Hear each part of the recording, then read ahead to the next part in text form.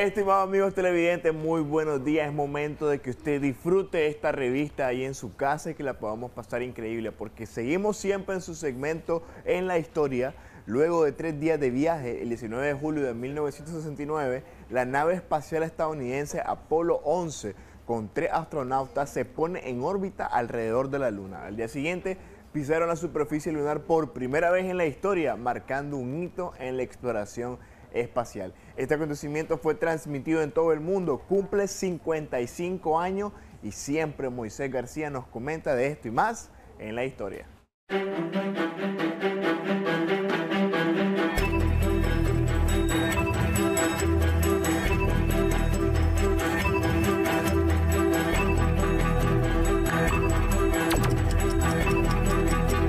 Un avión que despegó de Ezeiza, Argentina, a las 7 y 31 de la mañana, donde viajaban siete tripulantes: el capitán, el copiloto, el radiooperador, el navegante, el mecánico, dos azafatas y un comisario, a una altura de 4.500 metros, se acercaban a una zona del cielo totalmente cubierto, con baja visibilidad, lluvia y turbulencias, resultando golpeado por una corriente de aire que impactó sobre su ala derecha y prácticamente la arrancó. Los fragmentos chocaron contra la cola del avión, que quedó ya sin control el aparato cayó en un campo muriendo 60 pasajeros y 7 tripulantes. Las 67 víctimas mortales que viajaban en el vuelo AR-644 se hallaron dentro de un diámetro de unos 300 metros del punto de impacto, mientras que fragmentos del avión llegaron a aparecer hasta 3 kilómetros de distancia. El 19 de julio de 1963, Joseph Albert Walker vuela un avión X-15 norteamericano a una altura récord de 106 kilómetros en su vuelo superando una altitud de 100 kilómetros y fue calificado como un vuelo espacial tripulado según la Convención Internacional. El despegue número 90 del North American X-15 fue un vuelo de investigación realizado por la NASA y la Fuerza Aérea de los Estados Unidos y que se convirtió en el primer avión que pasó la línea de 100 kilómetros de altura. Los vuelos 90 y 91 hicieron de Walker el primer ser humano en realizar más de un vuelo espacial. Luego de tres días de viaje, el 19 de julio de 1969, la nave espacial estadounidense Apolo 11, con los astronautas Buzz Aldrin, Neil Armstrong y Michael Collins a bordo, se pone en órbita alrededor de la Luna. Al día siguiente, 20 de julio, dos de los astronautas alunizaron con éxito, quedando Michael Collins pilotando la nave alrededor de la Luna. Neil Armstrong pisó el satélite con una cámara de televisión para la transmisión del evento a Tierra, diciendo ya la famosa frase, un pequeño paso para un hombre, un gran salto para la humanidad. Unos 20 minutos después, Aldrin siguió a Armstrong en el paseo lunar. Ambos pasaron 21 horas y 36 minutos en la superficie de la Luna, donde recolectaron 22 kilogramos de rocas lunares e instalaron aparatos de medición sísmica y un reflector láser. Después de un periodo de descanso que incluyó 7 horas de sueño, el motor de la etapa de ascenso del módulo Eagles despegó acoplándose posteriormente al módulo de comando Columbia para regresar a la Tierra. Así como concluyó este evento que abrió una cortina de posibilidades en el área de la astronomía y dio un gran paso a la era de exploración espacial. Moisés García, Acción 10.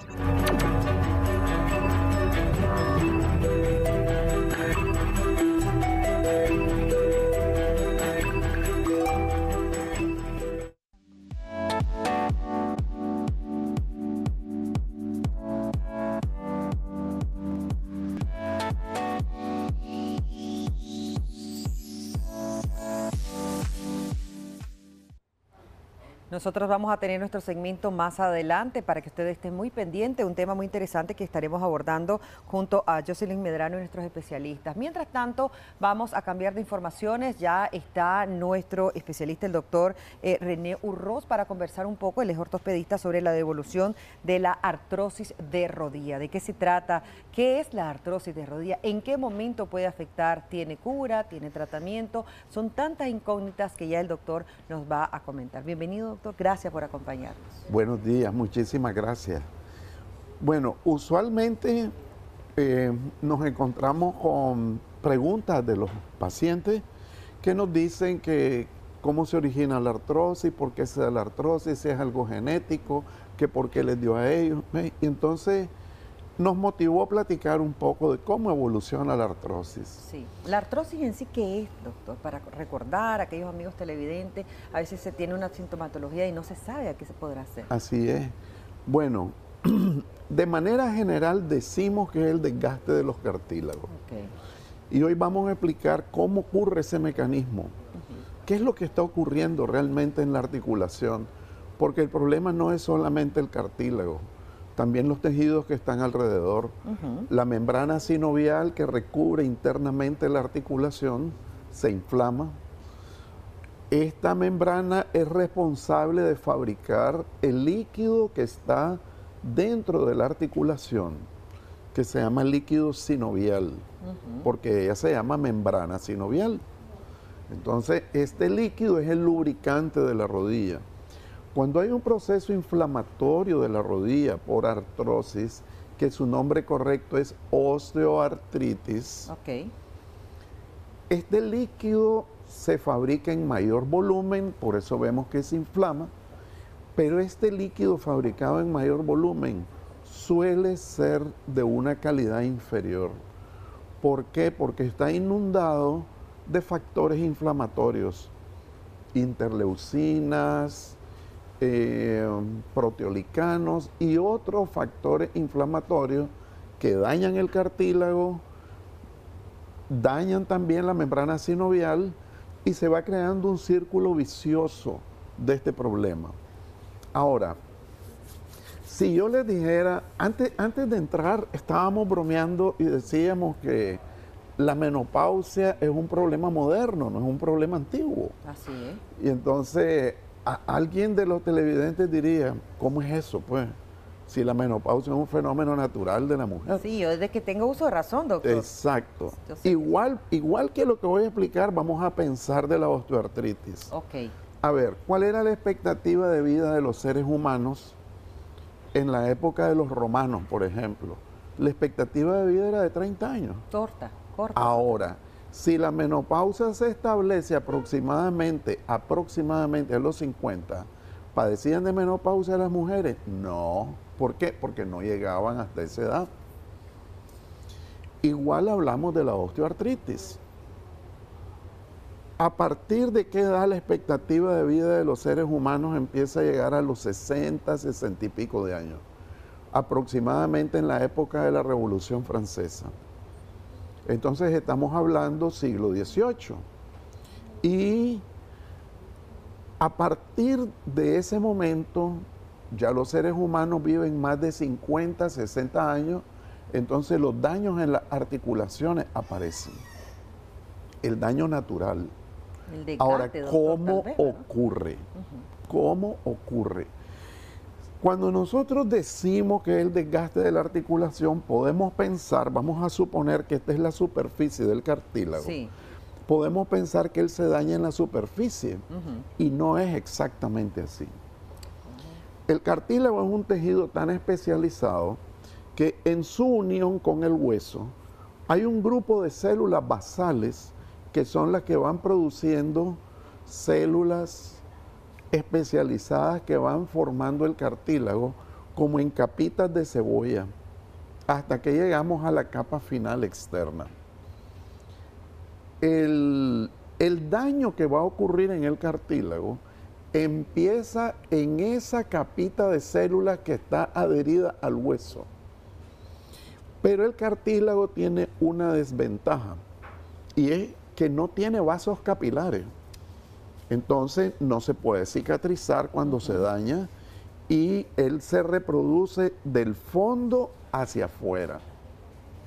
Cuando él se empieza a dañar afuera y cuando en el líquido sinovial están estos factores inflamatorios de los que hablábamos, entonces el cartílago se daña tanto de su base hacia la capa externa como de la capa externa hacia adentro.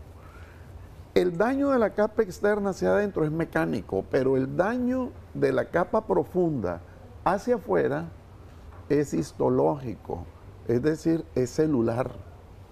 Y eso tiene que ver con la edad de los pacientes. Entonces decimos que el primer factor de riesgo de la osteoartritis de la rodilla y eso lo debemos entender general para la osteoartritis del hombro, de la cadera, de la vértebra.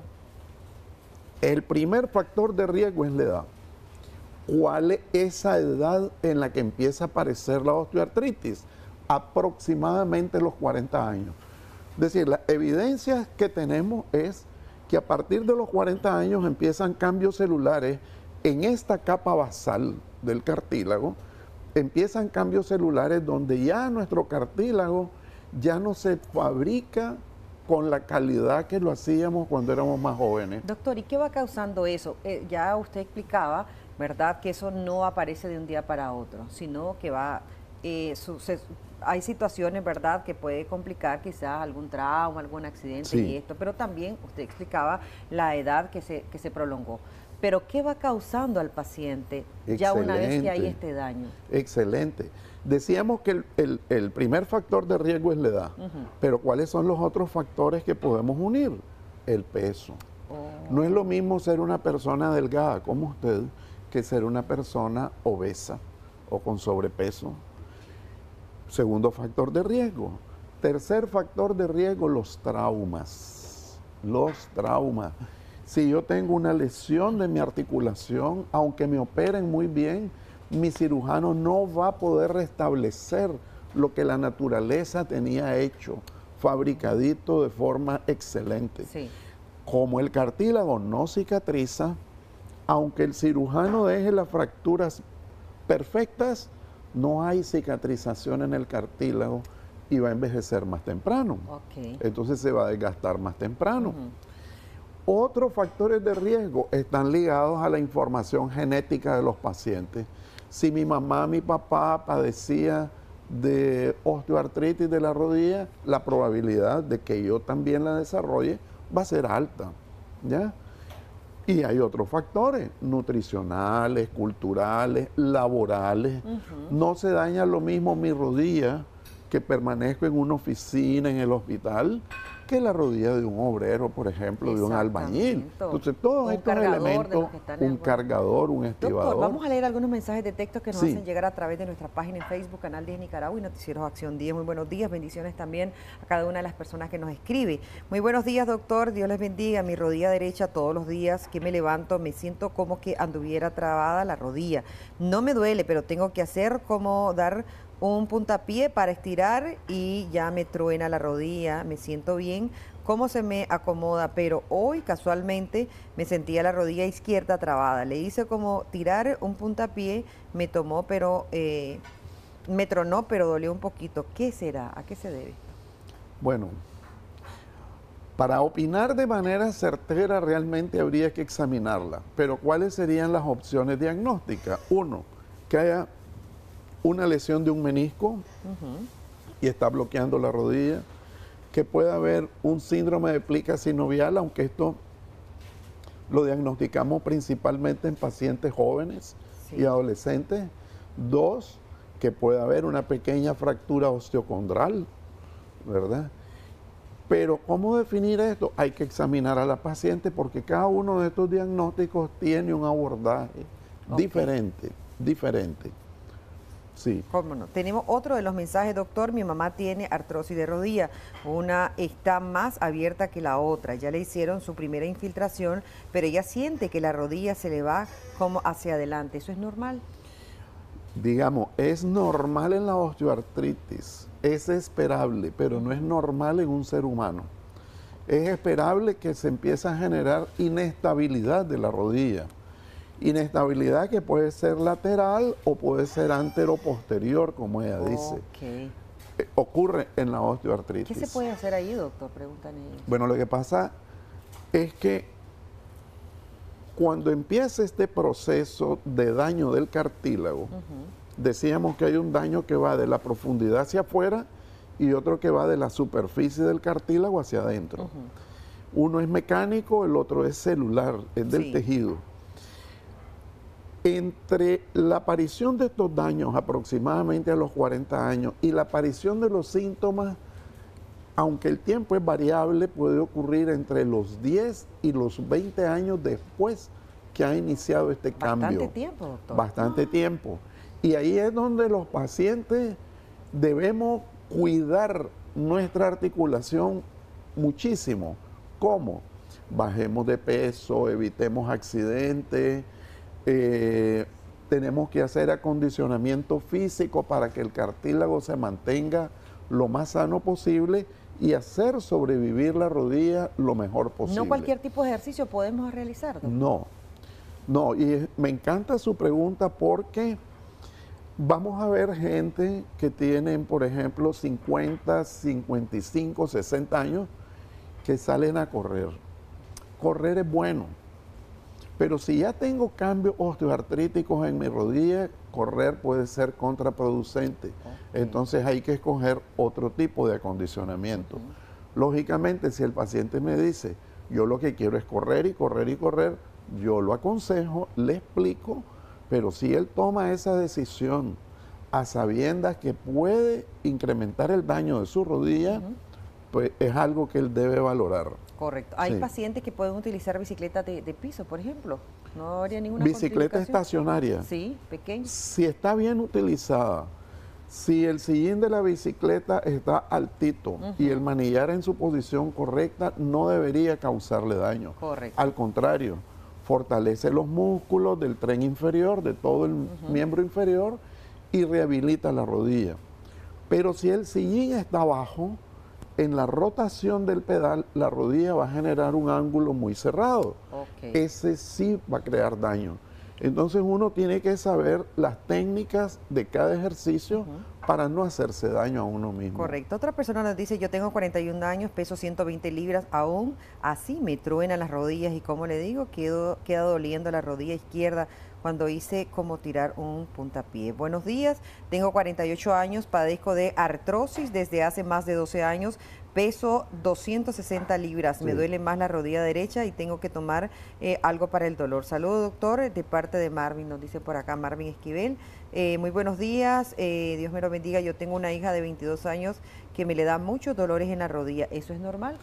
No es normal, es muy joven, hay que investigarla porque hay muchas causas de dolor en el paciente joven, en el adolescente y el joven. Sí. Eh, la persona de 48 años que pesa 48 años y es delgado. 260 libras. El que seamos delgados no nos salva de la osteoartritis. No, él pesa, tiene 48 años, 12 años de padecerla y pesa 260 libras. Evidentemente ahí tenemos un problema, hay que ver. Primero, 48 años ya empezó su proceso aproximadamente ocho años antes, aproximadamente. En esto no hay matemáticas, no hay una aritmética cerrada, ¿ya? Eh, si tiene sobrepeso, la primera recomendación que le van a hacer los especialistas de ortopedia es reducir el peso. Tercera recomendación, probablemente mandarlo a hacer ejercicios dentro del agua, algunos ejercicios especiales para fortalecimiento muscular sin comprometer la rodilla, pero hay un elemento muy importante. Hay que evaluar radiológica y clínicamente al paciente. Si el daño que tiene ya es muy severo, puede estarse imponiendo un tratamiento quirúrgico. Porque no podemos retroceder los daños que ya pueda tener el paciente. Eso es muy importante. Y decíamos dentro de este proceso de evolución, desde su aparición, que es aproximadamente a los 40 años, unos 10 o 15 años más tarde van a aparecer los primeros síntomas. Correcto. Durante esa etapa las actitudes son preventivas, no hay un tratamiento específico. Sí. Preventivo, bajar de peso, acondicionamiento físico, pero después van a empezar a aparecer cambios radiológicos, cambios clínicos, inflamación, a veces bloqueo de la rodilla, ya ahí se impone tratamiento médico. Correcto. Pero luego estos daños van a continuar. Y más si no bajamos de peso, no hacemos algunos controles. Si estos daños continúan, el procedimiento luego va a ser quirúrgico. Más si tenemos información genética. Hay que pensar en una cosa. La osteoartritis de la rodilla es un proceso que nos va a dar a todos los seres humanos a mí, a usted, a todos los amigos que nos ven. En unas personas va a ser más acelerada que en otras. en unas personas va a ser más grave que en otras. Encontramos, por ejemplo, pacientes de 80 años con excelentes rodillas, pero tienen cambios osteoartríticos. Sí. Entonces, pensemos en lo siguiente. Es un problema que nos va a dar a todos por la edad y debemos manejarlo de manera correcta en cada etapa. Para cada etapa hay un protocolo de tratamiento. Si avanzamos en la edad, no cuidamos nuestra rodilla, probablemente vamos hacia la cirugía. Correcto. ¿Qué pasa si especie la cirugía, doctor, eh, todavía sigue doliendo, se traba la rodilla? ya la, la, cirugía de reemplazo total de la rodilla para este problema debe garantizar en primer lugar que no haya dolor. Correcto.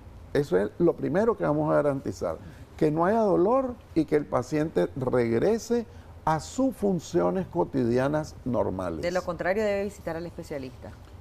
Es lo que esperamos al hacer la cirugía. Correcto, doctor Urros, muchísimas gracias por cada uno de esos comentarios. Ahí vemos el número de teléfono en pantalla. Si desea hacer consulta, con muchísimo gusto el doctor le va a atender y esperamos también que usted no se automedique, tampoco usar diferentes tipos de materiales para evitar el dolor. A veces, doctor, como que se ponen algún tipo de ligas, rodilleras. No, y a veces inventamos que leí en talado, que el vecino me recomendó que voy a hacer ejercicio, que me dijeron salga a caminar que si no se va a quedar tullido si ya tiene daños en la rodilla, salir a caminar, estar mucho tiempo de pie, es contraproducente. Excelentes recomendaciones. Gracias y bendiciones, doctor Ross. Ahí vemos los números de teléfono en pantalla. Hacemos una pausa y volvemos.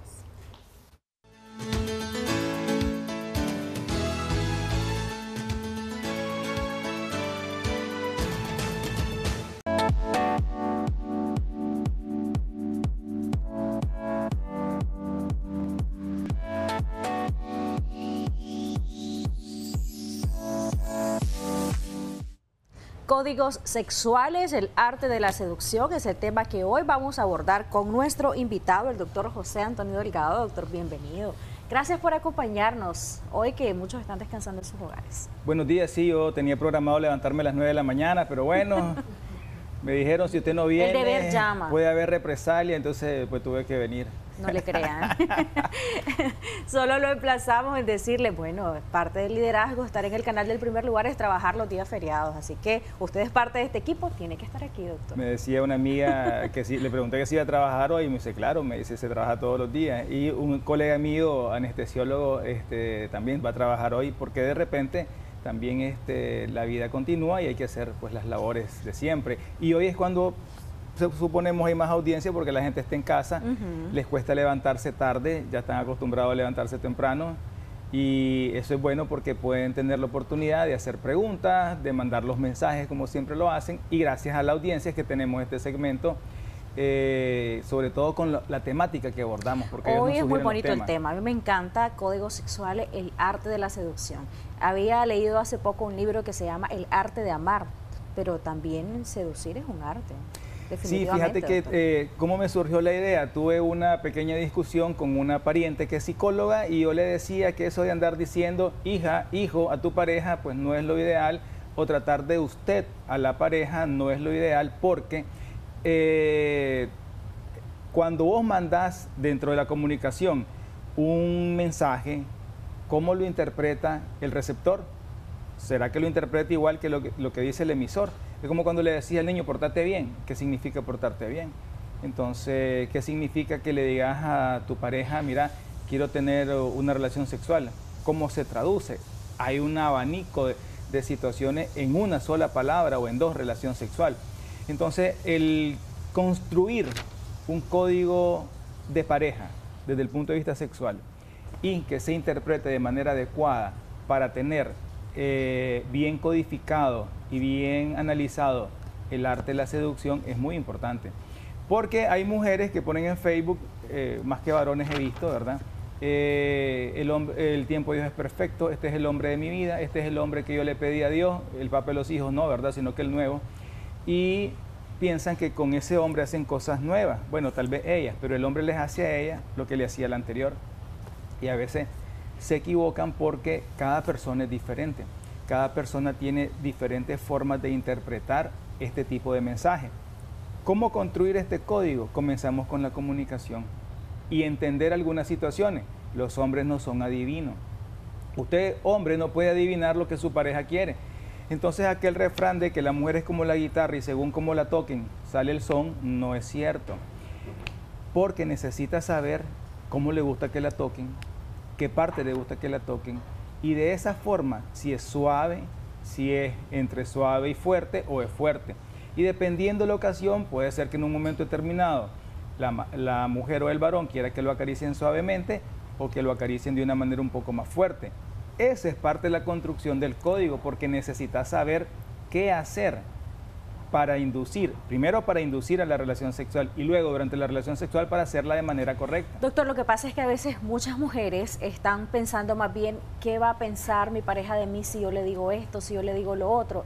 Y esa es una pregunta. Y la otra en relación a esto mismo es, a los hombres realmente les gusta que la mujer les diga directamente lo que quiere, lo que desea, lo que le gusta y lo que no le gusta. En términos generales, cualquier hombre podría decir, sí, yo prefiero que mi pareja me diga, pero cuando lo hacen, generalmente se intimidan. ¿Por qué? Porque no estamos acostumbrados, nadie nos enseñó, pero ah, nos sentaron y nos enseñaron, ¿verdad? Nadie lo hizo, pero aprendimos de que el hombre es el que toma la iniciativa. De hecho, eh, ahora se menciona muchas veces que el hombre es el que toma la iniciativa pero que quien decide una relación de pareja es la mujer, porque es la que recibe la propuesta. Pocas veces, conozco solo un caso muy cercano a mí donde la mujer le propuso matrimonio al varón. Eh, aquí no, en Nicaragua no conozco ningún caso, pues. es un pariente cercano, pero que no vive acá. Porque aquí no me veo yo en una mujer pidiéndole matrimonio al varón. Y vaya el varón le dice que no. ¿Qué te parece? ¿Cómo sería eso? Sería, como dicen los chavos ahora, sería viral que eh, una mujer le proponga matrimonio al varón y el varón le diga, no, no acepto. Bueno, pero está en su derecho. Sí, pero y las mujeres debemos estar preparadas ni siquiera sería aceptado. Entonces, no es la costumbre y deberíamos desacostumbrarnos. Ayer casualmente este, fui a un social de salsa y puse en el grupo de WhatsApp, eh, no voy a sacar a bailar a nadie, me tienen que sacar. Y eso que en el ambiente salsero este, acostumbras mucho a sacar, la mujer saca a bailar al varón pero no te acostumbre. Entonces, contestando eh, eh, extensamente tu pregunta es, el hombre se intimida generalmente. Ahora, ¿cómo...? ¿Pero por qué se intimida? Porque estamos acostumbrados a llevar la iniciativa. Y se nos enseñó a que el hombre es el que toma la iniciativa y en cosas de sexo, tres mitos, las sabemos todas, siempre vamos a decir que sí y eh, siempre vamos a satisfacer a la mujer. Esos tres mitos son mitos, ¿verdad? El hombre no necesariamente se las sabe todas, puede saber más una mujer de sexo que el varón. Muchas veces el hombre no quiere tener relaciones sexuales, pero es incapaz de decir que no, porque si le dice que no, la mujer le va a hacer un problema. Imagínate, el decir no a una relación sexual se te convierte en un problema. Sí, no me querés, andas con otra. Entonces vos decís que sí, te da impotencia sexual porque estás forzado a tener la relación de pareja y entonces se convierte en un problema por no decir la verdad. O sea, ya hay un libro que dice que la verdad te hará libre y eso es algo bueno porque tenés que comunicar. Esa es parte de la construcción de los códigos que vos tenés. Y, y en, ese, eh, en ese traslado de información que vos haces de lo que sentís, de lo que pasa, de lo que pasa y de lo que querés hacer, se va creando una forma de comunicación. Porque vos decías la vez pasada que una muchacha cuando quería tener relaciones sexuales le decía, pásame la toalla cuando se estaba bañando. Yo llego, le paso la toalla y me voy. Después sale la mujer poseída por espíritus malignos y vos decís, pero ¿qué le pasa? O sea, nos levantamos bien, se fue a Molesta porque hay muchos caballeros que no van un paso por espíritus malignos. No, no diga eso, qué feo. Quiero leerle comentarios, doctor, y aprovechar para recordar a nuestra audiencia que puede comentar en nuestra transmisión en Facebook. Nos encuentra como Canal 10 Nicaragua y como Noticiero Acción 10. Es una pregunta, aunque no va estrechamente relacionada al tema, pero quieren su recomendación como especialista. Buenos días, quería preguntar porque cada vez que tengo relaciones con mi esposo me duele mucho el cuello de mi matriz y me baja luego un líquido blanco espeso. Soy una mujer diabética. Pues muy complicado así, con dos frases, hacer un diagnóstico, ¿verdad? Pero lo más, lo más probable es que tenga una infección a nivel vaginal, a lo mejor inflamación del cuello del útero, tendríamos que verla. Porque el dolor durante la relación sexual o después de la relación sexual, pues hay muchas causas que sería bueno comunicarla y que en algunos casos produce hasta falta de orgasmo porque la mujer vincula el dolor, la relación sexual al dolor y se le quita el deseo. Nos envían saludos desde Bonanza, saludos también para vos, Arly González. Qué gusto que esté sintonizándonos. Eh, doctor, usted decía que los hombres se intimidan cuando la mujer habla así claro y directo, pero también es importante que la mujer se sienta bien y si eso es parte de su bienestar, el hablar claro y directo es mucho mejor. Y creo que tienen que hablar claro y directo, porque muchas veces das un mensaje subliminal y el varón no lo entiende. Entonces, distinto a nosotras las mujeres, que vamos un paso adelante, los varones no siempre. Entonces, escuchaba la vez pasada a un predicador eh, que decía, a los varones, mujeres, damas que nos están viendo, tienen que hablarnos directo.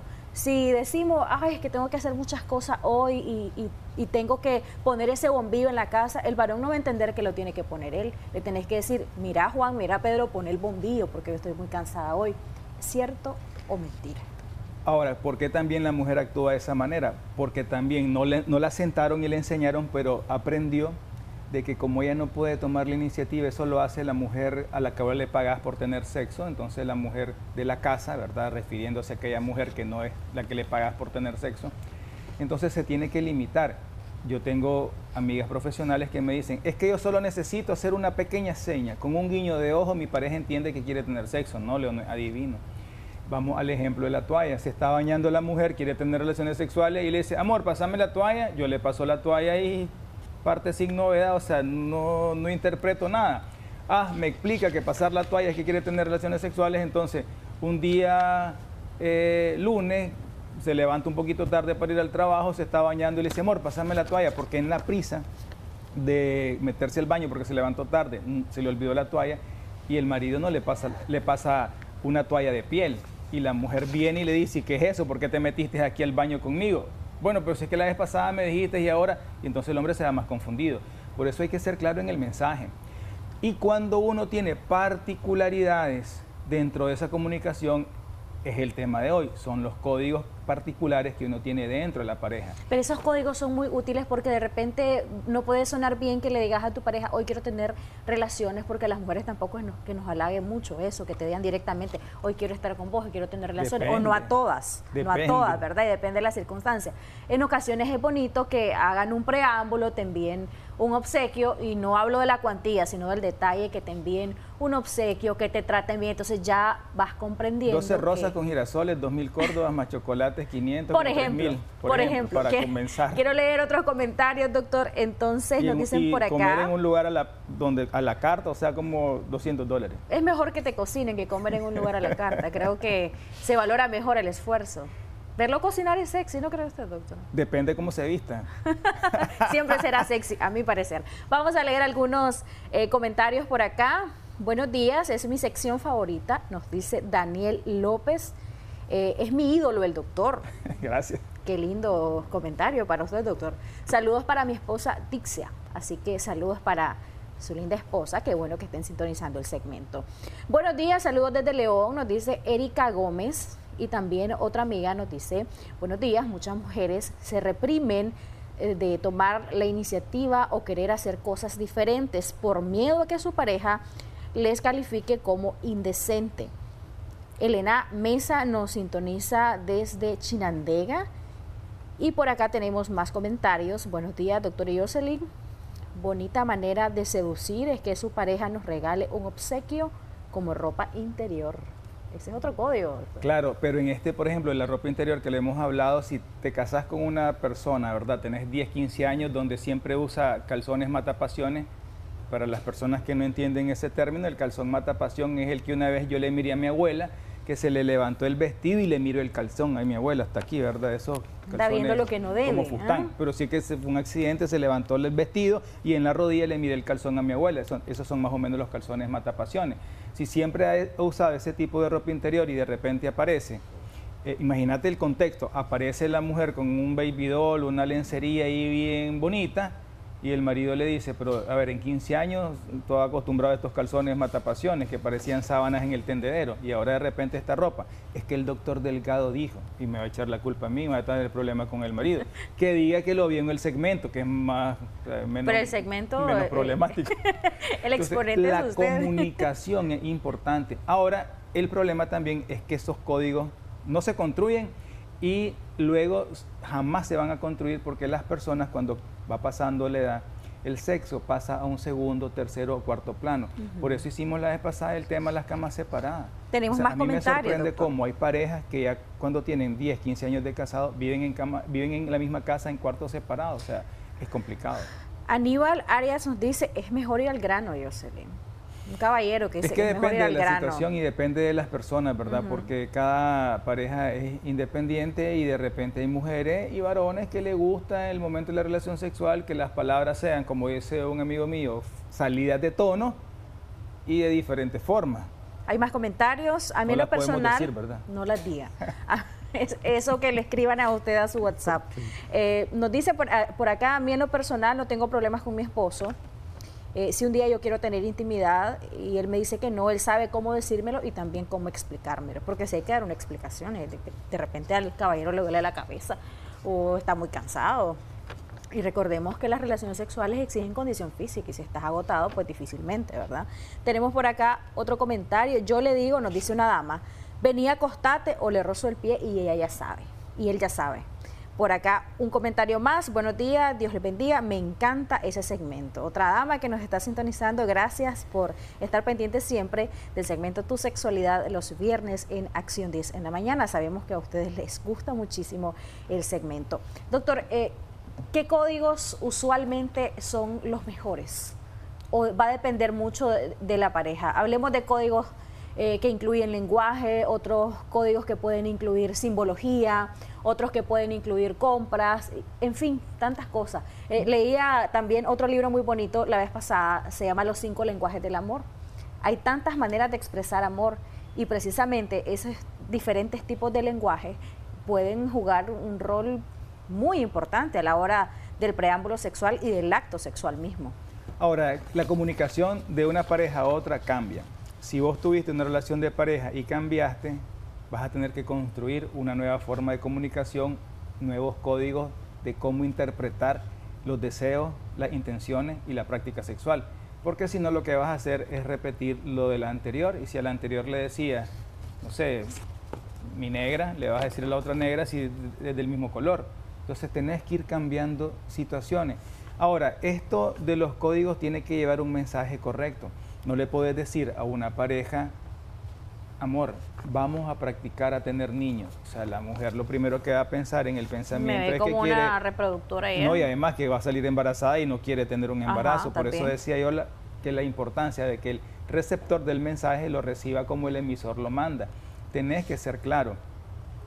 Los códigos donde, donde sobreentendés, donde haces pensar, son uno de los más interesantes porque son comunicaciones que incluso en público puedes dar a entender que tenés una relación sexual, pero solo vos y tu pareja lo, entienden. Pero tenés que explicarlo, tenés que traducirlo, tenés que enviarle la palabra, la señal. Eh, podría ser, por ejemplo, vos decías una invitación. Te quiero invitar a cenar a X lugar. Y ya se sabe que en ese lugar en específico, cada vez que le invita a cenar, de ahí van a un motel, o regresan a la casa y tienen relación. Entonces, o te dicen, eh, doctor, disculpa que lo interrumpo, te dicen, eh, quiero que miremos una película o quiero darte un masaje.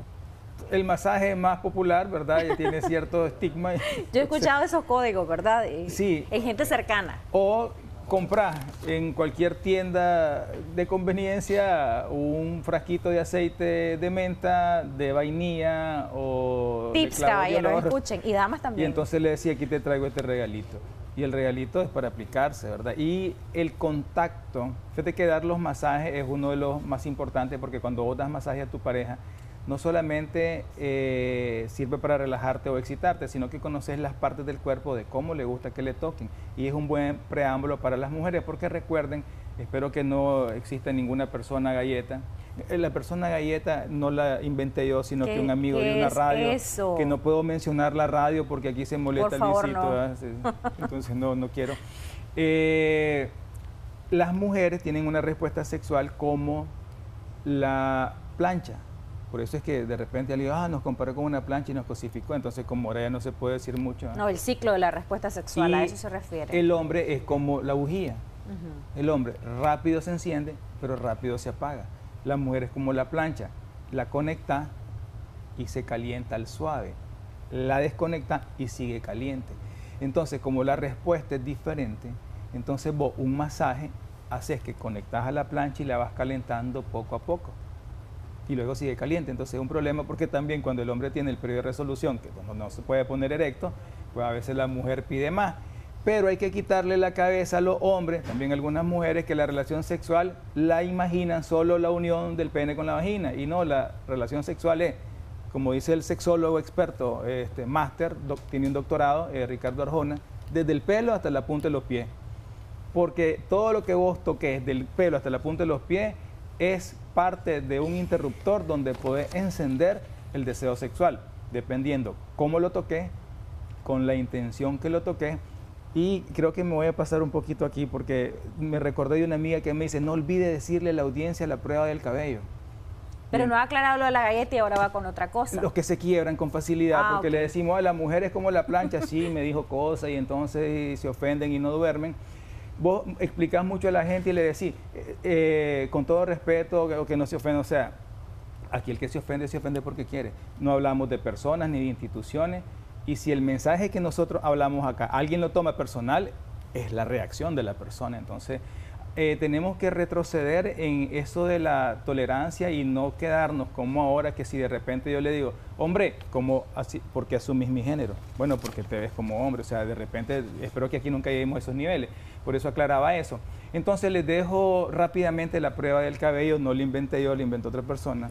Jocelyn yo creo que no la pasa. No, yo mejor no la voy a decir porque es muy, fuerte. No puede dejar con la duda la audiencia. Entonces la prueba Nada más no hable con lenguaje el cabello es una, parte del cuerpo muy erótica y muy sensual para el hombre y, y para la mujer sin meterme a temas bíblicos, ¿verdad? Porque también el cabello corto puede ser muy bonito y muy sensual para la mujer, representa muchas cosas. Entonces, aquel cabello de la mujer, por favor, la mujer con cabello largo, se agarran el cabello y se lo ponen en la parte de adelante. Si llega como por aquí, pasa la prueba. ¿Por qué? ¿La prueba de qué? Del cabello. Sí, pero pasar la prueba. Imagínate que ese mismo cabello mojado hasta aquí, ¿qué tapa? Tapa todo. No, tapa una parte de acá. Entonces, ¿Y eso qué significa? a la hora de la relación. Que, que es bastante erótico porque cuando Adán y Eva andaban sin hojas tapándose. Me imagino que Eva, que era cabello largo, supongo porque no habían estilista en ese momento, el cabello le llegaba hasta aquí, entonces se tapaba. Entonces Adán cuando le decía, apartate el cabello de aquí, pues miraba ciertas cosas. Y la otra, ese mismo cabello largo, se puede hacer una cola. Ah, y con la cola sujetar con una cola, ¿verdad? Y entonces esa parte también la entendés, me imagino, ¿o no? sí, pero mejor no la seguimos explicando, profundizar como que no es para este por horario. Favor, Jocelyn, porque no tengo palabras. Yo ahí, perdón a la audiencia por... Doctor, eh, los, Mis amigas de salsa, que son las que saben esto, se van a infartar cuando les diga que expliqué la prueba del cabello en, televisión. Los hombres son, son más de estímulo visual. He escuchado eso y las mujeres más de lo que nos dicen. Entonces, ¿cómo encontrar ese equilibrio? Y con eso, en un minuto, por favor. Aparentemente, porque cuando yo voy al gimnasio, yo veo mujeres como ven a los varones. Así que eso de que somos más visuales posiblemente, pero no. O sea, la mujer también mira y le gusta ver. Es más discreta, el hombre es menos discreto a veces para ver. El problema de, que somos más visuales es instintivo también, eh, porque la mujer instintivamente lo que busca en un varón es seguridad eh, económica y seguridad emocional, eso viene de las cavernas. Y el hombre lo que busca en la mujer instintivamente es una mujer reproductora, es decir, cadera ancha, y que sea buena para mantener a su cría, con pechos grandes. Entonces, fácilmente un hombre ve las caderas y los pechos de una mujer porque instintivamente así estamos construidos, porque somos simplemente parte del reino animal. Ojalá que también nuestras emociones y nuestro razonamiento pueda hacer la diferencia y que no solo nos busquen instintivamente, porque claro, pero eso, ven como un objeto. Eso es una explicación, eh, eh, eh, te digo, instintivo, o sea, nadie, la mayoría no son conscientes de eso. Porque también pues me puedes decir de que ah, puede interpretar a alguien de que las mujeres son interesadas, no, sino que la mujer de las cavernas no le interesaba este, la mujer de las cavernas se quedaba ahí con los críos. Y entonces ella necesitaba un hombre fuerte que le llevara de comer. Todavía seguimos en esa línea, ¿verdad? Entonces eso es algo instintivo, no es que eso es eh, el comportamiento general, porque cambiamos, ¿verdad? Pensamos, razonamos, tenemos diferentes contextos. Exacto. Pero es instintivo. Te hago la parte instintiva, porque cuando la mujer ovula, cambia su cuerpo, igual cuando la, la hembra entra en celo de cualquier especie animal, Cuando la mujer ovula, los ojos tienen un brillo diferente, el rostro cambia, la sonrisa, su amabilidad para tratar a la gente. Entonces, si vos venís acá y de repente los muchachos ven el brillo de tus ojos más intenso, tu piel más sedosa, tu forma de expresarse hacia ellos es más amable, probablemente está ovulando. Entonces está en un buen contexto para tener una relación sexual. Gracias, doctor. Y si vos sabés, como varón, cuándo fue la fecha de última regla de la mujer, calculás que más o menos ese periodo de la ovulación es a las dos semanas, entonces a las dos semanas le invita a salir a ver una película. Y le el masaje. la fecha del, periodo menstrual de su pareja. Es que es importante, o sea, ¿ah? pregúntale, tips. fulanita, ¿cuándo fue tu fecha última regla? Ah, correcto, entonces el periodo de fertilidad anda como por los 14, 15 días. En esa semana, una semana de fertilidad, la voy a invitar esa semana al cine y a bailar. Y eso va a ser extraordinario, maravilloso. Gracias, doctor Delgado, por habernos acompañado. Que disfrute el resto de su día. Gracias a ustedes. Seguimos con más en Acción 10 de la mañana. Alejo, ¿qué tienes para nosotros? Adelante. Música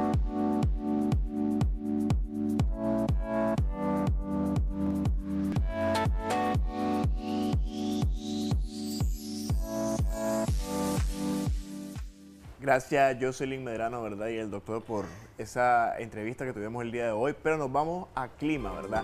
Esta semana inició un periodo de sequía que está provocando un aumento de calores y disminución de lluvia. Momento que Christopher Guevara nos comenta hasta cuándo podría extenderse este fenómeno al que los expertos llaman canícula.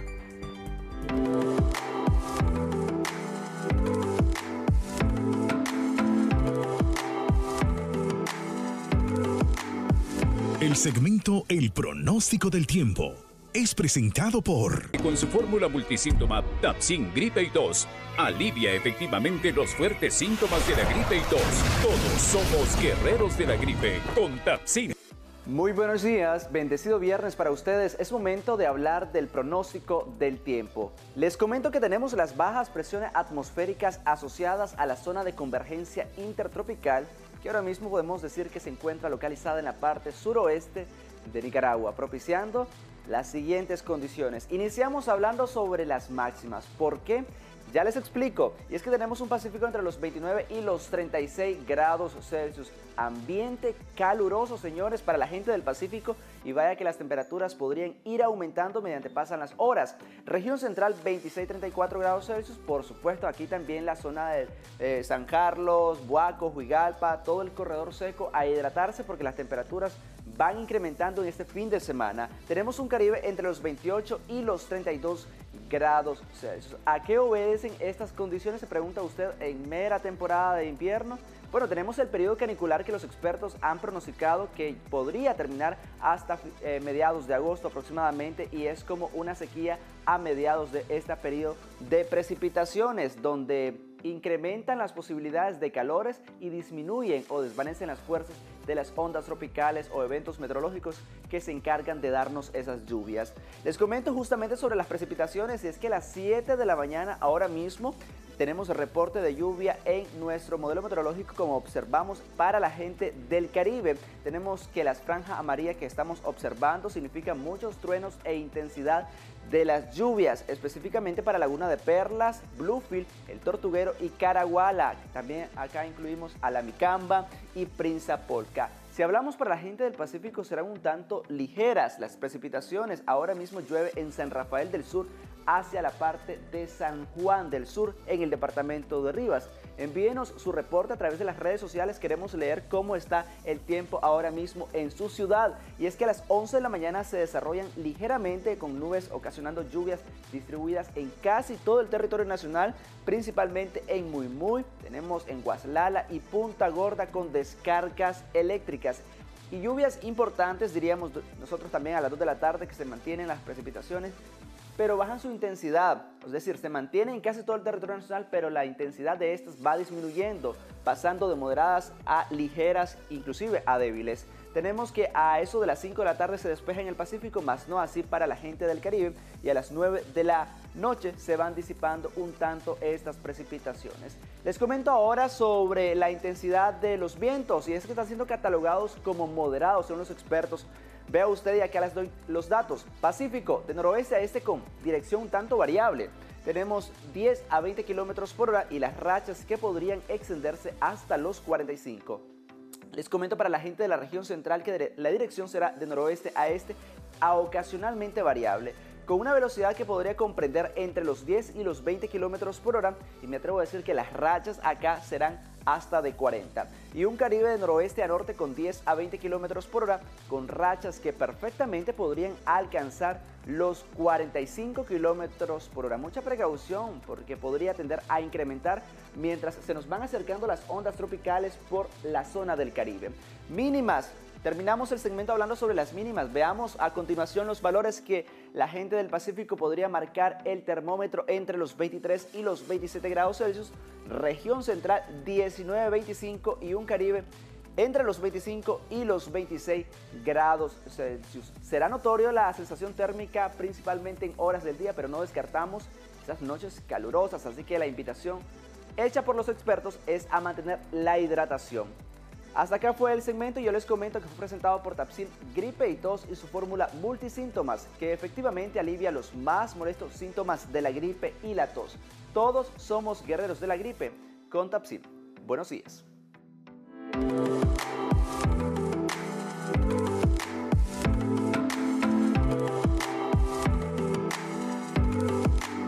El segmento El pronóstico del tiempo fue presentado por... Con su fórmula multisíntoma Tapsin Gripe y Tos, alivia efectivamente los fuertes síntomas de la gripe y tos. Todos somos guerreros de la gripe con Tapsin. Gracias, Christopher Guevara. Importante información que tenemos que tomar siempre en cuenta, sobre todo en este periodo lluvioso. En otras informaciones y un reciente estudio realizado por investigadores de la Universidad de Dinamarca concluyó que la falta y el exceso de sueño impactan en los vasos sanguíneos de las personas con diabetes, ceguera, insuficiencia renal, daño a los nervios, también accidente cerebrovascular y enfermedad cardíaca son algunas de las consecuencias. Un experto nos comenta sobre los resultados. Veamos el reporte.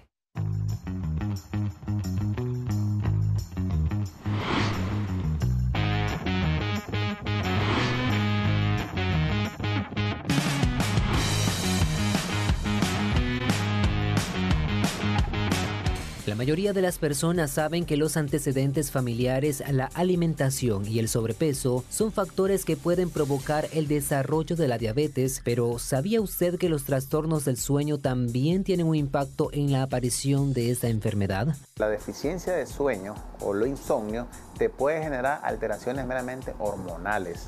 Te puede aumentar el cortisol, el paciente puede estar en un estado de alerta que te puede elevar levemente los niveles de glucosa pero por ende esto te puede llevar a un aumento o a una alteración de lo que es la área circulatoria, o sea, la microcirculación se va dañando de tal manera que esto puede conllevar a un problema ya vascular, por ende aumento de la tensión arterial y a la misma vez te puede provocar también aparición de la enfermedad de la diabetes a largo plazo.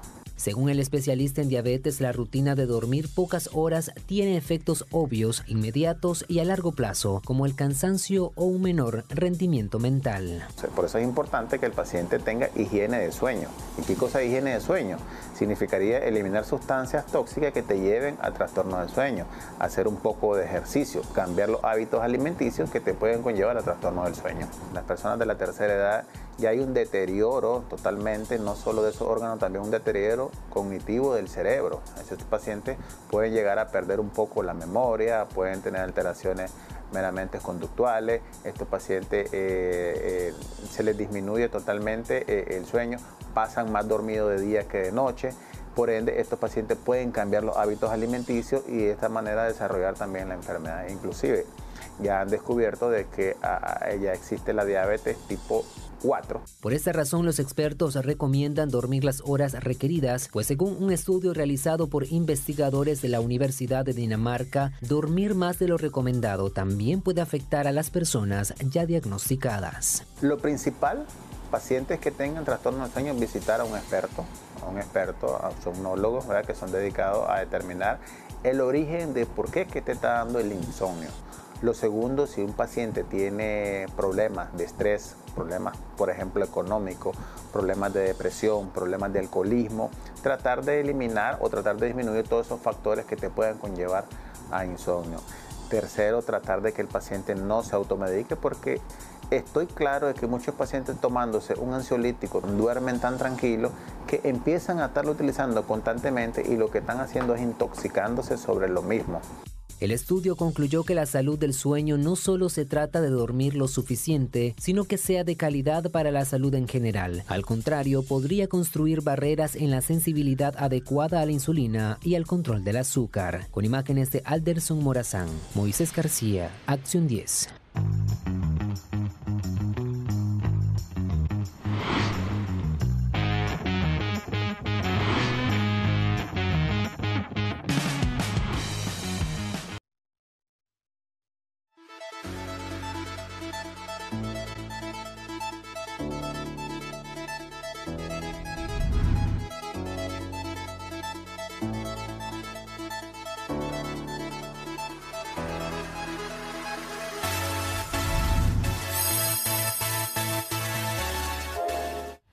Con más de su revista Acción 10 en la mañana. Hoy en horas tempranas se conoció acerca de un fallo eh, informático que ocurrió a nivel global y que ha afectado a empresas de todo el mundo, empresas de aerolíneas, hablamos también de bancos, también de eh, medios de comunicación. Esto ocurre según lo último que se sabe acerca de un error que hubo en una actualización de seguridad emitido por la empresa CrowdStrike, que ellos trabajan en lo que es el tema de la ciberseguridad con grandes empresas y esta actualización era dirigida específicamente para Microsoft Windows. Es por esto que hay un gran apagón mundial, por así decirlo, porque eh, hay bastantes fallas, hay retrasos de vuelos, hay un sinnúmero de afectaciones que incluso ha llevado a caída en lo que son eh, acciones de esta empresa, inclusive también para Microsoft. Pero para conocer un poquito más acerca de esto, que implica, ¿verdad? Estamos nosotros, ah, vamos a comunicarnos específicamente con Carolina Espinosa, quien es experta en temas de manejo de redes sociales y con ella vamos a hablar de este Zoom. Ella no, se está comunicando con nosotros desde España. También sabemos que el continente europeo ha sido muy afectado por esta situación y por eso le damos la bienvenida a ella es Carolina. Buenos días Carolina, gracias por comunicarte con nosotros y por eh, poder hablar con nosotros sobre esta situación que sabemos que muchos quizás no manejamos tanto. Comentarnos un poquito acerca de en qué consiste, ¿verdad?, este fallo informático, obviamente las afectaciones que esto implica. Buenos días. Buenos días, sí, definitivamente todos amanecimos completamente en shock con este fallo, principalmente aquí el, el continente europeo nos tiene eh, prácticamente todo el sistema paralizado, porque como ustedes sabrán, Microsoft es una de las plataformas más utilizadas por muchos empresarios y también por temas de aquí de seguridad social. Una de las más afectadas es la seguridad social. Los vuelos se encuentran más de 1.500 vuelos en stand-by, prácticamente parados. ¿Por qué? Porque no podemos avanzar, no podemos hacer check-in ya que no contamos con ningún tipo de opciones para nosotros poder abordar. Uno de los eh, aeropuertos, en este caso de Madrid, todo lo que es la parte del sur de España, está completamente parada, las personas no pueden salir eh, hacia sus otros destinos y bueno, Cabe destacar de que esto no es una problemática de ciberataque, que muchas personas creen que es una problemática de ciberataque, pues no, simplemente ya Microsoft está trabajando con, con Chrome, que es una de las plataformas que lleva el tema de la IA y simplemente lo que sucedió fue que estaban actualizando lo que es la plataforma, pero esto nos trae problemas catastróficos a muchos de los que utilizamos eh, Microsoft. De hecho, una de las eso que mencionas acerca del ciberataque, eh, de hecho, George Kort, quien es CEO de CrowdStrike, indica de que efectivamente no se trata de un ciberataque y que ellos ya están tratando de resolver el problema. De hecho, Microsoft también ha hablado acerca de ese trabajo que se está realizando, pero que todavía hay algunas afectaciones en aplicaciones y servidores de Windows. Pero ellos especifican exactamente Microsoft en el caso de 365 y Microsoft Azure. ¿Esto qué significa? Porque también se habla mucho en Internet acerca de lo que es la pantalla azul de la muerte. ¿En qué consiste esto? ¿Es un aviso? Si nos podrías explicar un poquito, Carolina. No, normalmente no se está realizando lo que es un ciberataque. Si fuese un ciberataque, pues ya estuviésemos todos, creo, en pánico y sobre todo estuviésemos eh, tratando de cuidar nuestros bienes porque se están siendo afectados mucho lo que son los bancos y mucha información de nosotros personalmente está en juego. Lo de la pantalla azul es normalmente cuando hacemos, eh, cuando le damos iniciar siempre a nuestra computadora y reiniciar eh, nuevamente nos aparece como de no está disponible. Esto no significa de que eh, estamos en peligro nuestra información. No obstante, no podemos hacer uso de todo lo que nosotros tenemos en, lo que es la famosa nube de Microsoft porque eh, todavía no se ha hecho la actualización correspondiente. El problema aquí es que a como ellos trabajan con la IA para poder hacer esta actualización, ahora deben de actualizar eh, computadora tras computadora, es decir, de una manera física. ¿Por qué? Porque eh, lo que ellos estaban tratando de implementar pues fue completamente fallido y ahora mismo estamos viendo las consecuencias ahora mismo la plataforma de Microsoft bajó un 20% en la bolsa de valores. Imagínate eso lo que implica para muchas de las personas que invierten en esta plataforma e incluso están siendo afectadas muchas de las redes sociales con el tema de información Aquí se ven muchas cosas en juego. Se ve en juego nuestra información personal, se ve en juego información de muchos empresarios, se ve en juego eh, incluso cómo camina el mundo. Ahora, ahora mismo nosotros caminamos con el tema de la tecnología y lo que es la inteligencia artificial y estamos viendo que estamos paralizados por un error que ha realizado eh, bueno, la compañía que trabaja en conjunto con Microsoft de los ciberataques. Carolina, de consultarte en cuánto tiempo podríamos esperar tal vez una solución, ¿verdad?, para esta situación y obviamente si eh, las personas, los usuarios, en caso de los accionistas, eh, las empresas que han sido afectadas, bancos, ya mencionábamos, medios de comunicación, esto ellos pudiesen demandar a CrowdStrike, ¿qué pasaría en ese caso? Mira, no pueden llegar a un tema de demanda porque normalmente se hizo bajo el concepto de crear nada más como una nueva opción para poder determinar estos ciberataques que vienen de diferentes partes del mundo y se hizo más que todo como un sistema de prueba. ¿Que ha fallado? Sí, pero no se puede determinar cuánto tiempo nos llevará.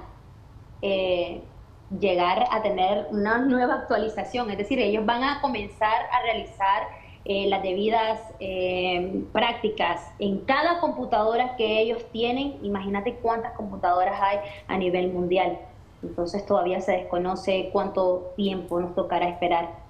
Muchísimas gracias, Carolina Espinosa, experta en manejo de redes sociales, por esa información verdad tan detallada acerca de la situación que está pasando a nivel global. Y de hecho ya algunos expertos en temas de informática hablaban acerca de cómo estamos nosotros por así decirlo, pendientes o dependiendo de un sistema de ciberseguridad en el cual pues efectivamente está controlando muchas situaciones, por ejemplo, hablamos de las aerolíneas, cómo puede afectarnos, ¿verdad?, a nivel mundial. Pero hay que estar pendiente acerca de las actualizaciones y obviamente del trabajo que están realizando ambas empresas, Microsoft y también la empresa CrowdStrike, de dónde se originó esta falla informática. Nosotros seguimos con más de Acción 10 en la mañana con Iván Zavala que nos tiene más información. Adelante.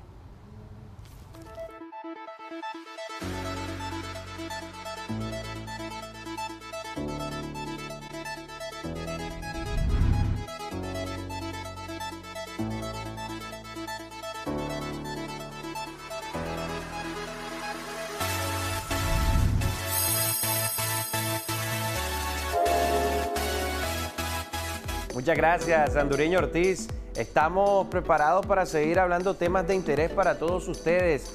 La vista es uno de los sentidos más importantes.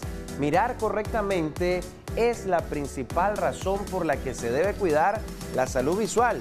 Y para lograr esto, entre otros factores que influyen para tener una buena vista, es la alimentación. Por eso, en Acción 10 te recomienda Christopher Guevara, junto a una nutricionista, nos comenta qué alimentos debemos consumir para mejorar este sentido. Sí, la vista, como usted sabrá, por ahí se dice que la zanahoria, por ejemplo, pero veamos la siguiente nota que nos ha preparado Christopher Guevara.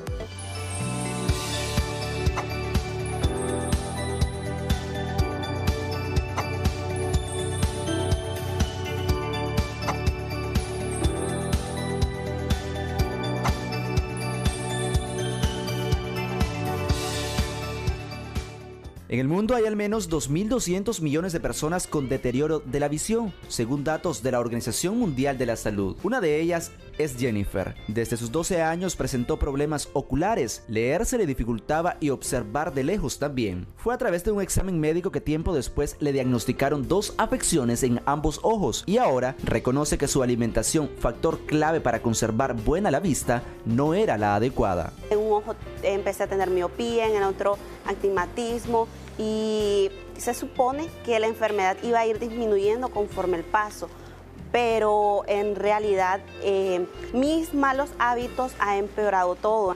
Eh, siempre pienso eh, en lo que dicen las mamás, que tomaba fresco de zanahoria para la vista, pero nunca en realidad lo he puesto en práctica y ahora que hablas del tema, en realidad es algo que me gustaría aprender y conocer. La vista es uno de los sentidos más valiosos pero a menudo de los más descuidados. La genética y edad juegan un papel determinante, pero existen alimentos ricos en nutrientes que pueden marcar la diferencia en la salud visual. Una correcta alimentación ayudará a evitar problemas oculares, pero esto no surtirá efecto si no se complementa con otros hábitos saludables, explican expertos. Influyen sobre la salud visual, tenemos por ejemplo la vitamina A, que efectivamente dentro de sus pigmentos ese color rojizo, ese color naranja, que tenemos, por ejemplo, la zanahoria, la, vista, la agudeza del águila. tenemos también otros compuestos como las siltomas, este colorcito naranja, ese colorcito rojo, ese colorcito amarillo, que van a proporcionarnos esa concentración de vitamina A. Es importante mencionar que se absorbe mejor cuando está cocinada, ¿no? Y en otras instancias tenemos, por ejemplo, eh, la vitamina C que va a favorecer la absorción de la vitamina A, de la vitamina E, del calcio, del hierro y que tiene un excelente potenciador, en este caso un excelente activador de compuestos antioxidativos. En este caso lo tenemos presente, por ejemplo, en tomate, en limones, naranjas, en grapefruit, en muchos alimentos como las frutas, como el mango, que tiene gran aporte, kiwi, en caso de que aquellas personas puedan comprarlo. La vitamina A presente en alimentos como la espinaca y el hígado ayudan a proteger la córnea y la retina. Por su parte, lácteos y cereales mejoran el funcionamiento de los nervios ópticos. La especialista en nutrición exhortó evitar el consumo de frituras y bebidas alcohólicas. Así como hay cosas que favorecen nuestra salud visual, hay cosas que sí la deterioran. Entonces hay que ser muy cuidadoso con ello porque no funcionaría que estemos comiendo muchas zanahorias al día y que estemos tan expuestos a las pantallas todo el día, sobre todo en espacios de ocio. Si nuestro trabajo está expuesto todo el tiempo a pantallas, entonces tratemos que nuestros espacios de ocio sean un poco más saludables.